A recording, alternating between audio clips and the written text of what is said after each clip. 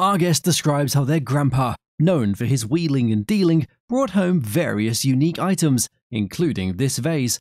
Initially, the guest was unimpressed with the vase and almost donated it too. When you got it, were you just did you like it? What what did you Not think? at all. When we were cleaning out the house that I, I got it from, I was on the verge of giving it to Goodwill or Salvation Army. Our guest mentions discovering that the vase is made by Guido Gamboni and So it is now in my home, and I'm just curious what the value of it is. Okay. On the bottom, there's a marking. the appraiser confirms that Guido Gamboni, who lived from 1909 to 1969, created this vase in the 1950s or 60s. The donkey mask is associated with him. They explain that the vase is geometric, not wheel made, but coil made, and features a distinctive rough glaze. The appraiser highlights that this large piece of Gamboni pottery is quite rare and remarkable in size. They estimate that the vase's retail value is to be at a price of I would believe that a retail price would be somewhere between seven thousand and ten thousand dollars. Oh, okay. Our guest inherited this necklace from her grandmother. This necklace dates back to around 1880. The beadwork and wire twist design are notable features. The necklace includes split pearls, which are likely natural. This mesmerizing necklace is made of 14 karat gold. The piece is most likely Italian and in the Etruscan revival style. The appraiser estimates its auction value to be at a price of auction purposes, I would say anywhere between four thousand and six thousand dollars. Okay, Yeah. great. The guest was pleased with the appraisal. The guest brought onto the show a book written by her ancestors, Leonard and Thomas Digges. probably 60 years before I touched it. And when I opened it, I couldn't really make any heads or tails of it. But supposedly it was written by an ancestor. Leonard Digges was a well known English mathematician and surveyor, credited with the invention of the theodolite. Thomas Digges was an English mathematician and astronomer, and he was the first to postulate the dark sky paradox. Furthermore, this particular book was published in 1597 and still has its original parchment binding. Looking at the book's title page, we can see the author's name and title a geometric practical treatise named Pantometria. and the title is a geometrical practical treatise named Pantometry. There is also an illusion of a device being used to measure the size of a fortress and another illustrating the measurement of the height of a tower. On another page, we can see the illustration of a device called the Theodelitus, which was invented by the Digges. In this case here on page 35, you see the composition of the instrument called Theodelitus. Given that this book still has its original binding and historical significance, it is estimated to be worth I would put a conservative estimate at auction of 15,000 to $25,000 on it. Although they resemble your everyday table lamps, these lamps are incredibly special. They are lamps that are crafted in 1909 by Dutch artisan Dirk van Erp. Dirk was an artisan and coppersmith known for crafting lamps made of copper. The lamp has a rare closed box mark on it and was designed by designer Elizabeth Eleanor D'Arcy Gaw.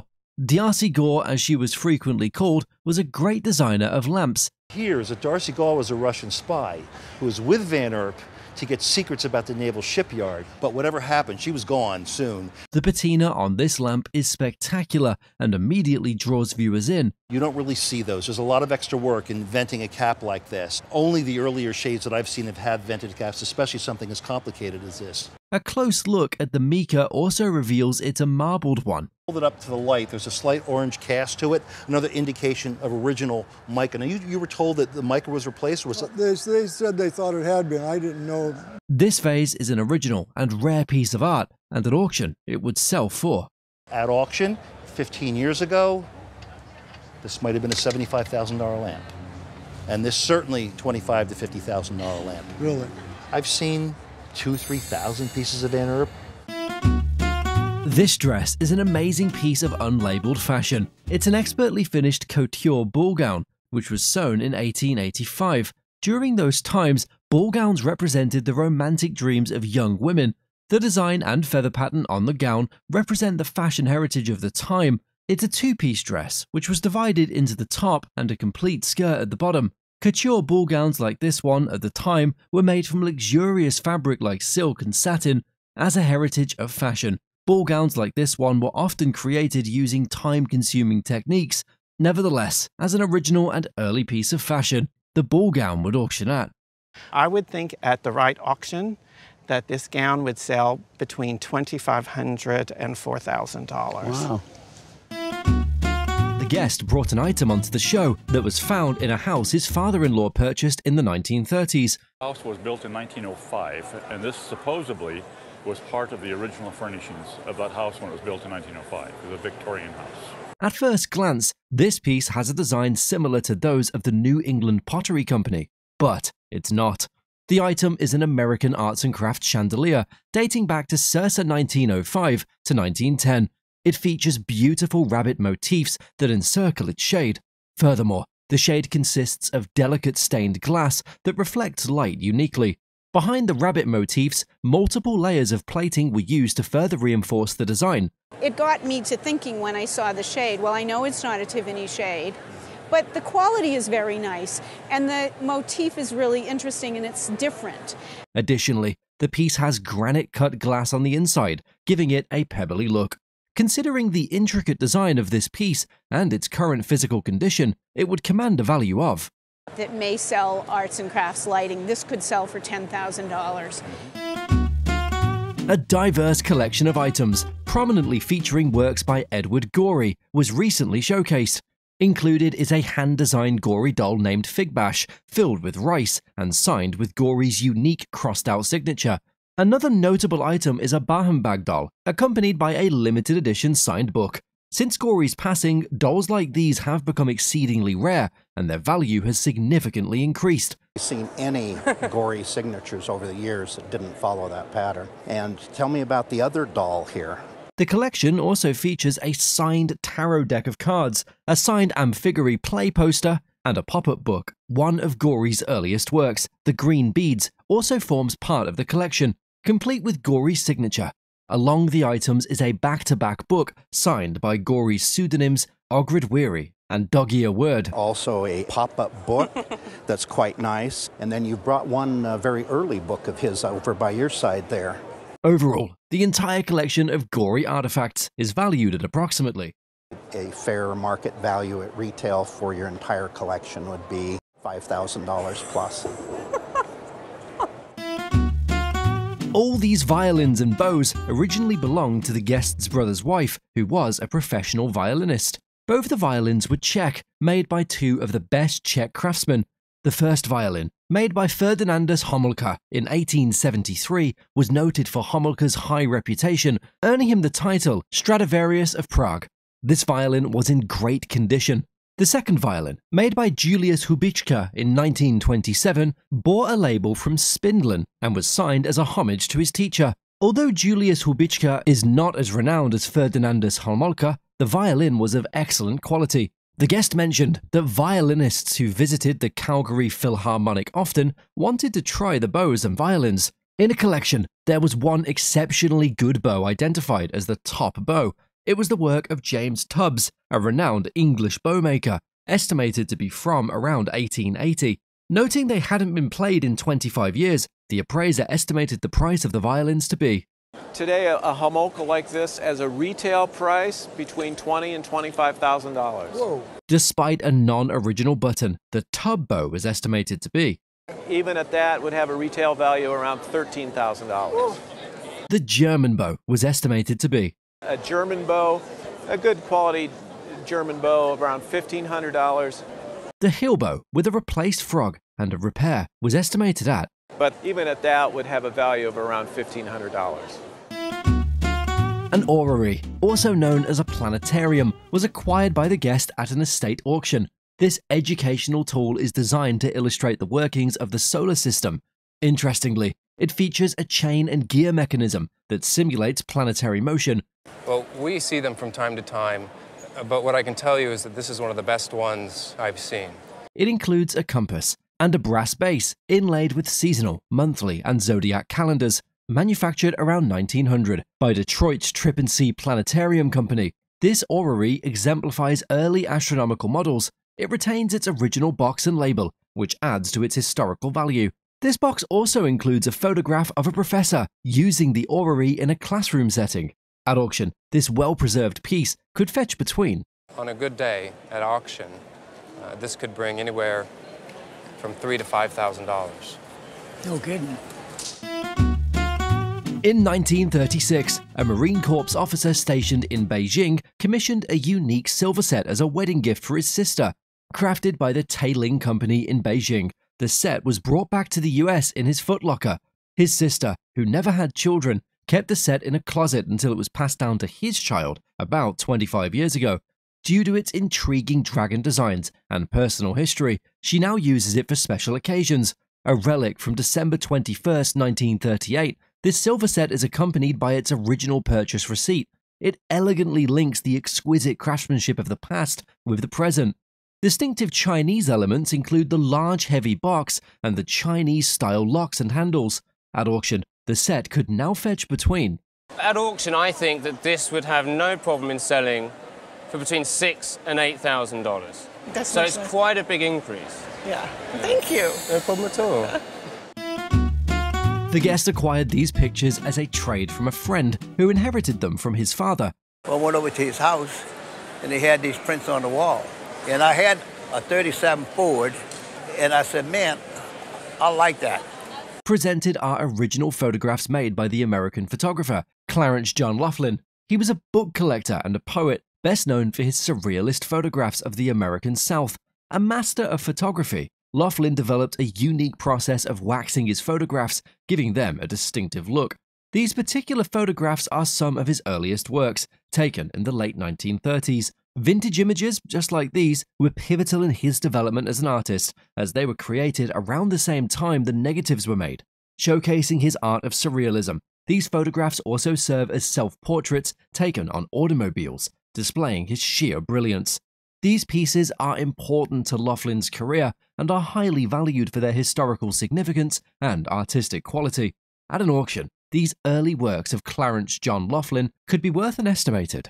The pair, probably seven to nine thousand dollars. Well, ain't that something? Yeah, that's good. The item is an oil painting by Helen LaFrance, a self taught artist who began painting full time in her late 60s. Helen LaFrance was known for her memory paintings, depicting scenes from her rural Kentucky upbringing. The painting features a nostalgic scene reminiscent of the 1950s and 60s. LaFrance's work gained increased prominence after a documentary and her death in 2020, leading to a rise in value. The piece was purchased around 2014 to 2015 for $1,300. Due to its connection with Oprah's collection and LaFrance's growing recognition, this painting is rare at auction. There was a documentary made on her a few years ago, hmm. which I think brought her into greater prominence. And there are a number of big collectors as well as museums. This painting could easily fetch the value of If this piece were to be at auction, I think that the value would probably be eight to ten thousand dollars. Wow. Our guest also owns another painting by La France, further enhancing their collection. The item is a Japanese vase, identified as earthenware satsuma with enameled decorations. It dates from the Meiji period, approximately 1880 to 1920, and features intricate drapery of wisteria and a finely executed cobweb with a dangling spider. The vase's high points of gilding and detailed hand-painted design are noted. Unlike the majority of mass-produced Satsuma pieces, this vase is among the top-tier examples. It bears the gilded mark of a renowned imperial court artist from that era. Despite a general decline in Japanese earthenware pieces, top-quality pieces like this have seen a resurgence. This, however, resides in that very top percent. Oh my goodness. The appraiser estimates its conservative auction value to be at a price of. I would say a conservative auction estimate would be between five and eight thousand dollars. Oh my goodness. I can't believe it. Our guest is delighted with the valuation and plans to continue enjoying the vase. To the ordinary looker's eye, this is just an ordinary serving spoon. But that is far from the truth. The guest presents a silver spoon her husband purchased in Baltimore for about $600. Can you tell me how much your husband paid for the spoon? I think he said $600. The spoon is hand wrought with a tapered handle. It's constructed from coin silver. It's hand wrought with a tapered handle constructed from coin silver. Upon turning it over, it is shown to bear the hallmark of the American silversmith, entrepreneur, and industrialist, Paul Revere Jr. As a military officer, Paul Revere is known to have played a major role in the opening months of the American Revolutionary War in Massachusetts. Of the impending British forces arriving at Lexington and Concord. He resumed his work in silver after the war, which I believe stylistically matches when this piece would have been made. After the war, he resumed his work as a silversmith, which, based on the style of the piece, is when it would have been made in the 1780s. The spoon also features a monogram on it, which might be of the direct owner of the spoon and could add immensely to its value. Although the firm continued to exist after his death, what makes this piece so special is that it was handcrafted by Paul Revere himself, and only a few of its kind exist. A proper tablespoon of 9 inches, which is very rare in the market. This piece is valued at an estimated. This spoon would likely garner eight to ten thousand dollars Oh. should it cross the auction block. The item in question is an entirely hand sewn garment with identifiable markings inside the sleeve. These markings include three dots and 3SA, indicating it was a size 3 from Schuylkill Arsenal in Pennsylvania. Although the market for such military materials has declined slightly, the garment's identification and provenance add value. The Schuylkill Arsenal designation enhances its appeal to collectors. Given these factors, the appraiser estimates its current market value to be at I would say in today's market for this with the identification, probably five to 7,000. Oh, very good. This valuation reflects the item's importance in the collector's market. Steel production has been called the backbone of America, with its home situated in Pennsylvania. Among many mills is the Homestead Steel Works, home to the creation of armor for battleships, rail for railroads, beams for bridges, and buildings, among many others. Presented are a couple of unique and unorthodox pieces of jewelry, steel jewelry. The first piece is a cut steel bracelet dating back to around 1790. The cut steel jewelry industry originated in England, so this piece would have been made there. It features little pieces of steel that are faceted to resemble gemstones. This is steel. Yes, these are little pieces of steel that are faceted. And so these were worn in the evening, so when candlelight hit them. Most likely part of a full necklace and bracelet set, its value is estimated at. At auction, a piece like this would bring somewhere between $800 and $1,200. The second piece is referred to as Berlin Ironwork, having originated from the Berlin Iron Foundries around 1810. In an effort to support their government against Napoleon, the citizens of Berlin were encouraged to give their silver in exchange for these iron pieces, considered patriotic symbols. Interest in these pieces grew immensely in Europe. Highly collectible and sophisticated ironwork jewelry. This piece would sell at an auction for an estimated. These are very collectible, so at auction, a piece like this would bring somewhere between $6,000 and $8,000. The final piece is a more recent item that dates back to the 1950s. It was made by the San Francisco company Marsh & Co., founded in 1876 by George Turner Marsh. This piece is a sophisticated construction of steel, white gold, and diamonds, a trademark of the company. Excellently preserved in good condition, this piece is estimated to be valued at This item at auction would bring somewhere between $6,000 and $8,000. We have on the show today a painting by Johannes Bosboom. Bosboom was a Dutch painter and watercolorist of the Hague School, known especially for his paintings of church interiors. The guest acquired this piece at a garage sale many years ago. Typical of Bosboom's works, this painting beautifully depicts the interior of a church. It was meticulously done in watercolors, with Bosboom skillfully using light and shadow to create depth in the piece. This watercolor painting is characterized by a high level of detail, particularly in the architectural elements. Interestingly, the painting still retains its original frame, which could further enhance its value. Considering that this item still has its original frame and is one of Bosboom's works, it is estimated to be worth This would sell at a gallery at no less than 20,000 and very likely $30,000. I'm shaking. Exhibited on the show today is a bronze figure inherited by the guest from her great grandmother. Bought this statue, uh, paid 160 marks for it. Back in 1931. This incredible bronze sculpture was made in 1885 by Edward Onslow Ford. Ford was an English sculptor, and much of his early success came from portrait heads and busts. At the base of the figure, we can discern the sculptor's signature, which adds authenticity to the item. A very intriguing feature of this piece is how the fabric of its skirt is beautifully rendered to capture movement.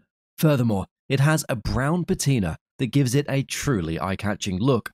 Not many British sculptures like this one are found on the market, and the condition of this bronze sculpture is outstandingly good. At auction, given the rarity and condition of this bronze sculpture, it is estimated to be worth. For insurance purposes, I would think in the $20,000 wow. range. This vase had been in the guest's mother's family for generations, and she inherited it from her mother when she passed away. And it was not valued very highly for her estate purposes, and it was just something I loved and selected. This vase was made by the Daum Studio in Nancy, France, circa 1900 to 1919. Most of the pieces made by Daum resemble nature, and they were displayed at many world fairs, winning all kinds of honours and awards. At the bottom of this vase, we can see the Daum Nancy mark in the centre. Furthermore, the vase is made of glass and is adorned with a wheat and poppy pattern.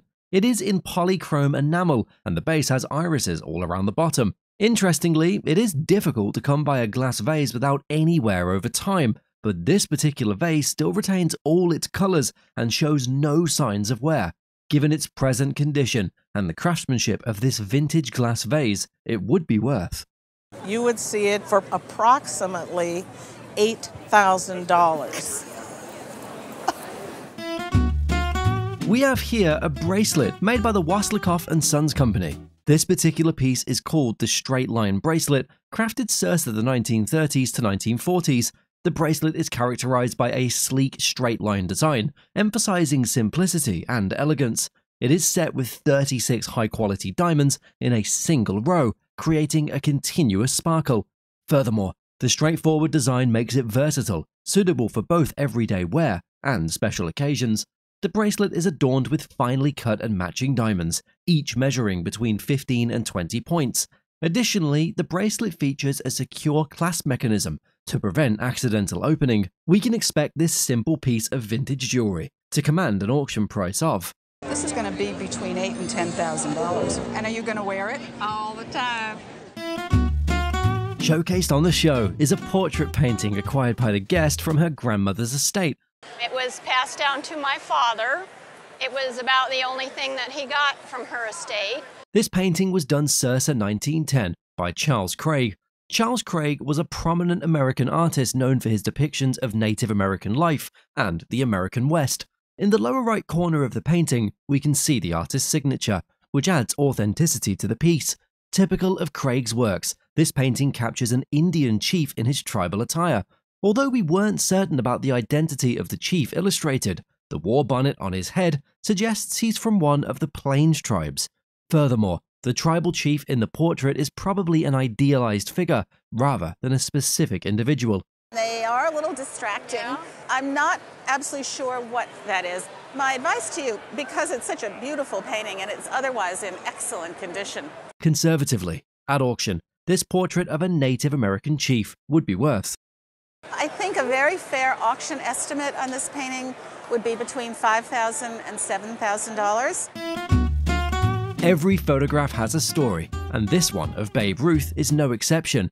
Babe Ruth was an American professional baseball player whose career in Major League Baseball spanned 22 seasons. The guest purchased this photograph from a friend who received it from Babe Ruth in the 1950s. This piece is a gelatin silver print of a very young Babe Ruth in his 20s. It measures 14 by 11 inches and is in excellent condition. What makes this photograph even more interesting is that it's the only known example of this image. Photographs of Babe Ruth are highly sought after by collectors. Given the provenance and rarity of this photograph, it isn't far fetched that it would be worth. At auction, we estimate it 5,000 to $7,000. Wow. Wow. Our guest today brought in a collection of World War II memorabilia onto the show. Collection of World War II memorabilia from my husband's uncle, and he was a co pilot on bomber planes in World War II. which she acquired from her husband's uncle. The guest's husband was a co pilot on the B 17 bomber during World War II. Included in the collection is a photograph of the co pilot and his crew, signed by all the members. There's also a photograph of the co pilot sitting in the cockpit of the B 17 bomber. Furthermore, we have a pin with a paper tag pulled from a bomb that would have been dropped during the war. And then there's a, a pin with this paper tag that would have been pulled from the fuse of the bomb that would have been dropped. We also have a Purple Heart that was awarded to the co pilot after he was killed in a mid air collision. He was also awarded the Air Medal with an oak leaf cluster engraved with his name on the back. Lastly, an item called the Short Snorter is displayed, bearing the signatures of his crew members. All his buddies would have signed it. Collectors who are interested in this material look for completeness. These items are a time capsule that tell the heroic and tragic stories of World War II, and they would be worth. Everything together, this would be retail $3,000 to $5,000. Wow. It's, it's quite an impressive group. Our guest shares that his wife bought this stone mask for him as a Christmas gift about 10 or 12 years ago. He ordered it from a dealer who had obtained it in Mexico around 1939.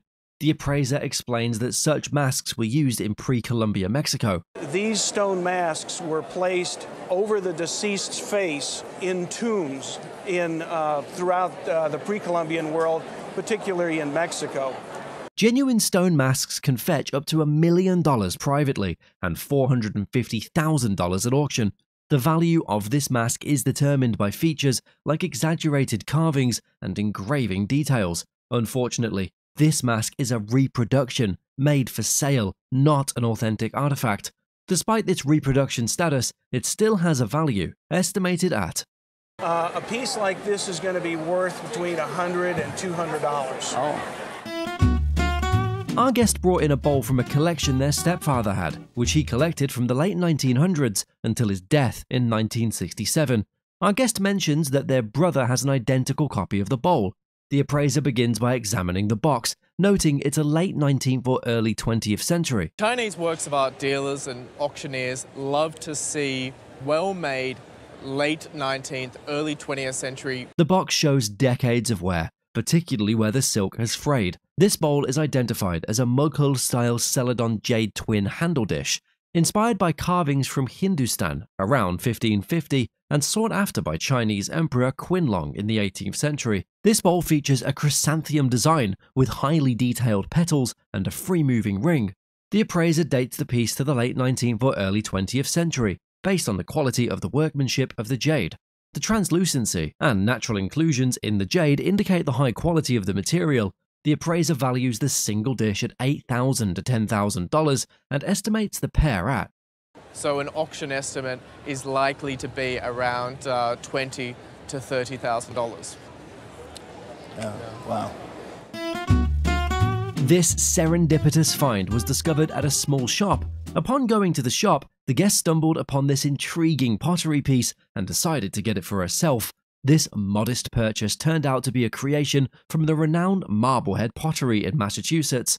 Marblehead Pottery's fascinating history began as a therapeutic venture for young women with health issues. However, the notable intention took an unexpected turn when a change of ownership to Arthur Baggs occurred. Arthur Baggs's acquisition in 1915 marked a new era for the pottery, with this design originating around 1919. The actual pottery was sold to someone else. So Arthur Baggs took over the pottery in about 1915. This particular piece would have been done, the original design, around 1919. The piece's journey from a modest purchase in the early 20th century to its current value is remarkable. Except that it was found that instead of helping the patients, it was putting a lot of stress. Today, this Marblehead pottery creation carries an auction estimate of These days, a very reasonable auction estimate would be 1,000 to $1,500. Okay, wow. Okay, and, and a retail estimate, 1,500 to 2,000. Okay. This seemingly ordinary platter actually has a captivating tale of artistry. An English platter. It was crafted in Staffordshire. These types of platter are known historically as Staffordshire transferware. More importantly, they were specifically designed for American buyers. As we can see, the platter showcases scenes of American life. This fusion of English craftsmanship and American imagery create a highly collectible genre. The cultural significance and artistic value of such pieces have grown more over time. In today's market, this platter, that represents more than just tableware, is valued at a retail value would likely be between $1,000 and $1,500. Oh, wow, that's amazing. Well, thanks very much for bringing it in. Thank I enjoyed you. seeing it. These pieces were purchased by the guest's wife directly from the artist and had heard about the artist and drove to Melrose Plantation and asked if there were some pictures available. And Clementine offered these two pictures to her. Presented are two oil paintings made by the American folk artist from Louisiana, Clementine Hunter. Born in 1887, she lived and worked on Melrose Plantation and taught herself to paint. Her works gained national attention for their complexity in depicting black Southern life in the early 20th century. The images, somewhat naive, typical of Clementine's style, obviously really captured with great honesty. These paintings are a perfect example of the artist's work, depicting everyday life with great naivety and simplicity. They bear the distinctive signature of the artist, which, based on the provenance, is original. The frames of the pieces appear to be more recent than the paintings themselves, which were executed around 1960.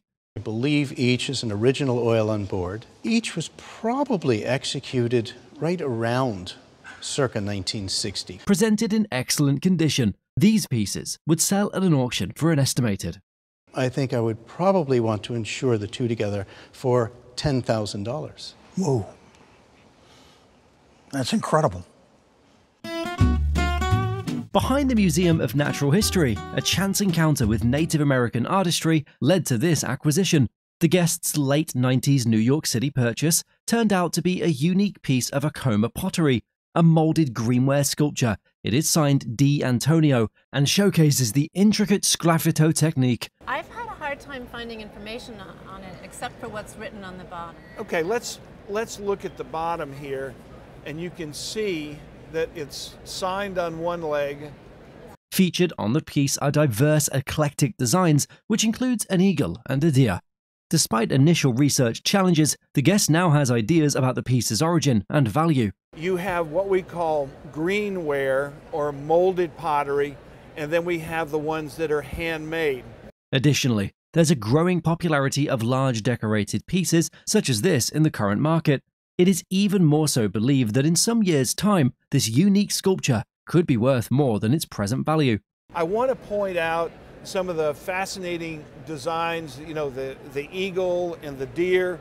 And then there's one on the backside that I really love. The immediate value, however, remains close to the original purchase price, and as such, it is worth. It's probably worth about what you guys paid for it, in the 500 to 1,000 in a in a retail store. This guest acquired the painting from an online marketplace for free. I acquired this piece for free from an online marketplace. A gentleman was moving. He could not take it with him. I saw that he listed it that it was going to the trash. Presented is a thick watercolor on silk bearing an inscription that denotes it was made by Tang Yin, a Chinese painter, calligrapher, and poet of the Ming Dynasty period. Tang Yin is one of the most notable painters in the history of Chinese art. As one of the four masters of the Ming Dynasty, his influence is seen in the art of contemporaries, notably Kai Han. And that is Tang Yin. And he was one of the four great painters okay. of the Ming Dynasty. The inscription also mentions the summer season and the date in the cyclical form, which corresponds to 1871. Although the appraiser believes that based on the style, the piece belongs to the 1930s and is a copy made in 1871. Apparently, this piece was a faithful copy from an original Tang Yin piece, making it a documentary of the great Chinese artist's work. Based on this perspective and its perfect condition, its value is estimated at an insurance value, replacement value for this would be, you know, reasonably in the six thousand dollar range. I don't even know what to say. Oh my goodness. This piece has been passed down through the guest's family for generations. Unfortunately, I don't know a lot of history about it. I know that it came from my paternal grandfather's side of the family. We weren't as close to that side of the family. They lived in Mississippi, and I always thought it was this old, ugly vase. Presented is a Japanese vase dating from the first quarter of the 20th century. It belongs to a group of Japanese ceramics known as hand painted nippon. This particular nippon is even rarer, called coralene. It designs from flowers built up with beads of glass, showcasing a technique masterfully executed. As seen in the intricate detailing and perfection of this piece, a mark on the bottom indicates it was imported, as shown by the US Patent Office stamp. There is a mark here. It actually says U.S. Patent US Office. patent, yeah, yeah. that's so it could be imported into this country. Presented in excellent condition without a single crack, this vase is a prime example of early 20th century Japanese craftsmanship. At auction, this vase would be highly sought after and is estimated to sell for Good news about this value is probably in the 800 to $1,000 range. This guest owns a record store and purchased this Janis Joplin's wake invitation from a customer who came to his store. Just friends and family to come to Lion's Share and just celebrate her life, basically, after her death. Janis Joplin was an American singer and songwriter, and she was one of the most iconic and successful rock performers of her era. The invitation was given out to about two or three hundred people after Joplin passed away, and it is an iconic piece of rock and roll memorabilia. To me, it's a really important, iconic piece of rock and roll memorabilia. Janis Joplin, one of the greatest of all time. On the front of this piece, there is an image of Joplin, and upon opening the invitation, we can see the inscription Drinks are on Pearl. The party was held at the restaurant mentioned in the invite, the Lion's Share. There is also an insert inside the invitation that says, Bring one guest. We don't want to have too many people. There aren't many of these invites still in existence today, making the piece incredibly rare. At auction, given the rarity of this piece and the historical significance of Joplin to rock and roll history, it is estimated to be worth I would probably put an auction estimate somewhere around $3,500 to $4,500. This guest received this piece as a gift from an acquaintance of her father's. because I was an Al Jolson fan, and my dad was involved with the beginning of Talking Pictures. George Groves worked under my father when they were developing the. Presented is a record that is part of the soundtrack of The Jazz Singer, a 1927 American musical drama film directed by Alan Crosland. It was the first talkie, marking the end of the silent film era. The portion of the jazz singer where Al Jolson is playing the piano and singing Blue Skies to his mother. This is a Warner Brothers Vitaphone disc featuring a track where Al Jolson plays the piano and sings Blue Skies. This disc is the sixth out of 15 reels from the movie, and may be the only surviving one. Being a sample record, it might only contain the process of the sound technology and not the actual finished album. Presented in its original frame, used to preserve the disc, this piece is a monument to the innovation of Warner Brothers Studios. If put up for auction, this extremely rare and valuable piece would sell for I'd put an insurance value on it of $25,000. Wow. Thank you very much. We have on the show today an Andy Warhol New York Film Festival poster that the guest purchased from a friend. The son had come to clean out this storage unit about 10 years ago and was selling everything for half price of what the original 20 year old price was. So Warhol was an American visual artist, film director, and producer. He is considered one of the most important American artists of the second half of the 20th century. This piece is one of Warhol's earliest prints, made for a festival at Lincoln Center. The poster features two important aspects of pop art. It is very bright and uses an everyday object, in this case, an oversized ticket, transforming it into art. Furthermore, this edition was made on paper and consists of 500 copies. Unlike other editions made on paper, this poster isn't signed or numbered. Remarkably, this poster still retains its originality and is in pristine condition. At auction, given the legacy of Andy Warhol and the condition of this piece, this iconic poster is estimated to be worth. Typically sells at auction for around $3,000. But still, $1,500 for a Ten times more $150 money. purchase, not bad.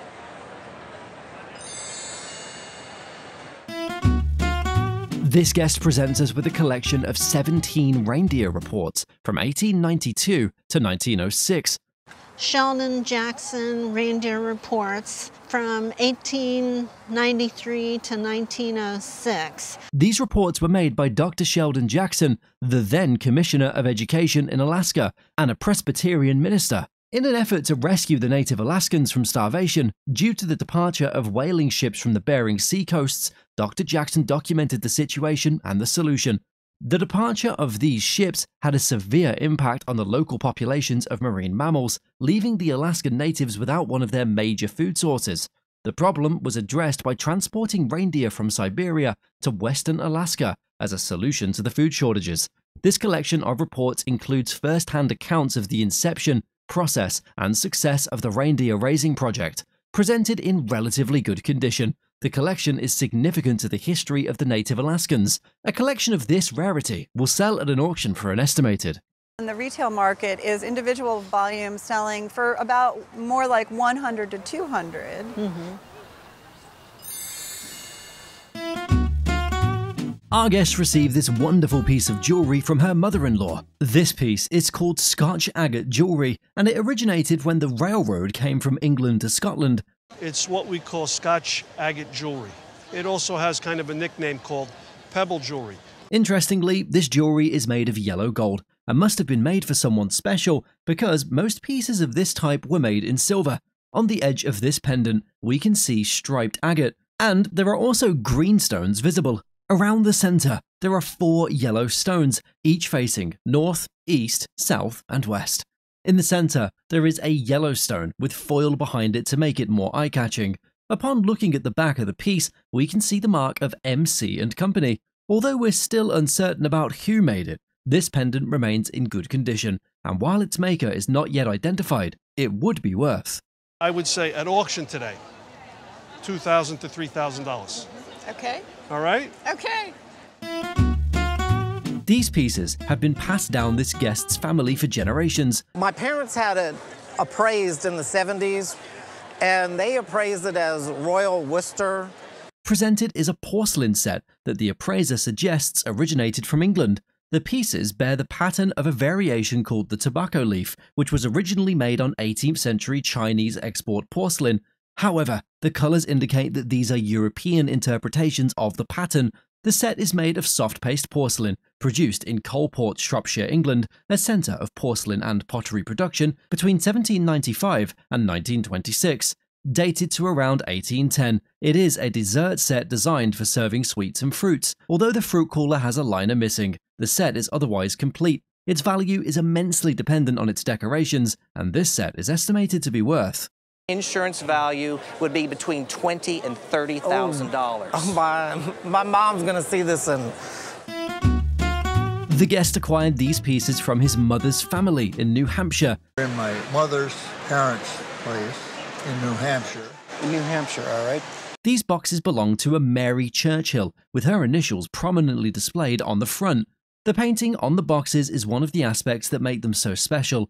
While most people might have removed the original painting, it has been preserved in its original form on these pieces. Because if you look at this, you look inside, this box is made of eastern white pine. Mm-hmm. And that's a wood that would be indigenous to New Hampshire in great quantity. The boxes are made from eastern white pine, a wood indigenous to New Hampshire. Additionally, there are delicate yellow decorations surrounding the boxes that add significant depth and style. The top and surface of the boxes remain original, with no alterations made since they were crafted. Presented in excellent condition with very good provenance, these pieces are quite valuable and would cost. I think in an auction situation, these would easily be estimated in the ten to fifteen thousand dollar range. Wow. Really? And that's with nothing in them. Who would have thought?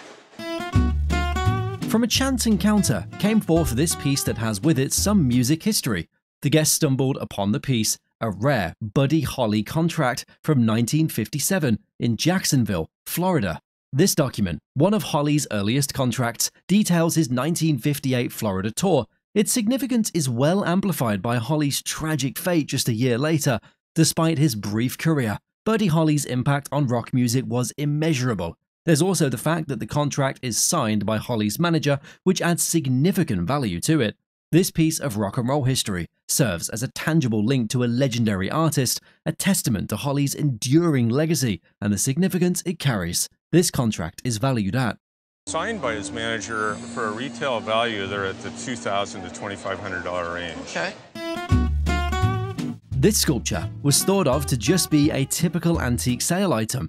A striking piece, it was acquired by the guest for a modest sum, although initially mistaken for marble. Closer inspection reveals it to be alabaster. To actually distinguish the true nature of this material, true experience is needed.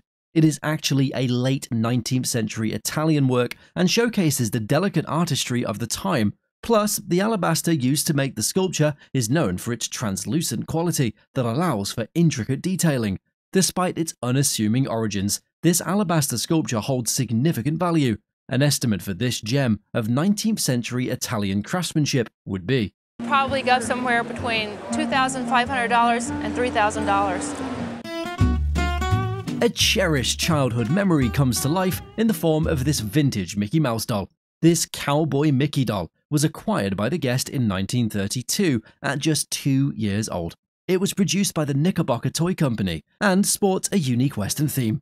Despite some wear, key features like the hat, bandana, and guns remain intact. Right. Tore his tail off, and. Uh, but overall, you were pretty good with him. We'll go through Mickey a little bit here. Mickey's missing whiskers and slightly dirty chaps are minor issues in light of its overall condition, which is still quite good. It is also of note that it's quite rare finding a well preserved piece from that era. The doll's condition and distinctive cowboy outfit contribute to its collectible status. This nostalgic piece of Disney memorabilia, a testament to early Mickey Mouse merchandise, is valued at I would estimate this at about the $5,000 price range. Oh, man.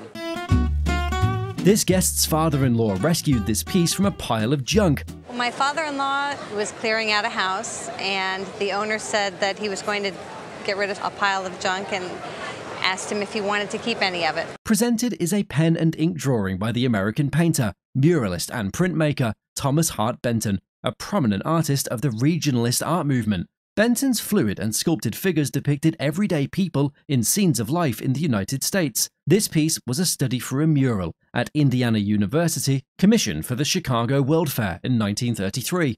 It represents the figures in panel number 10, which depicted racial issues in Indiana in the 1920s. Although not very desirable in the past, its connection to the black history of America adds immensely to its value. Preserved and framed in UV glass, this piece is in absolutely wonderful condition, highly significant to the black history of America, particularly in the early 1920s. This piece is worth. Conservatively would be somewhere in the perhaps 12,000 to $18,000 range. You really found a treasure under that Monet print in that frame. This piece was acquired from the guest's uncle and aunt's house up in New Hampshire. My wife's aunt and uncle had a farm up in New Hampshire. When they uh, couldn't stand the brutal winters any longer, we're going to retire to Florida. They asked us and other members of the family to come up and Presented is a view from the series of view books called the Civitates Orbis Terrarum.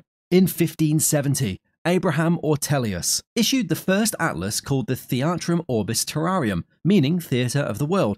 Taking inspiration from this novel endeavor, George Brown and Franz Hogenberg issued volumes of this view book, meaning the cities of the world. This collection showed detailed illustrations of cities across Europe, Asia, and Africa. This particular piece depicts a scene across a river from a place called Munden in Germany. Now, this is a fairly small city in Germany, a little bit less exciting than some of the other ones. It was issued as part of the fourth volume of the set, which was published in 1588. The value of these pieces is based on the location of the cities, with more significant cities in Europe, Asia, or the Americas often being more valuable.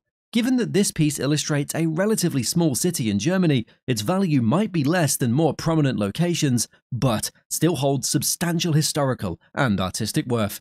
Despite being from a smaller city, the craftsmanship and age of the illustrations add to its value, estimated at print like this, we would probably in our shop sell for somewhere around 700 or $800. It's a wonderful thing. You were absolutely right to be excited when you saw this. Well, thank you very much.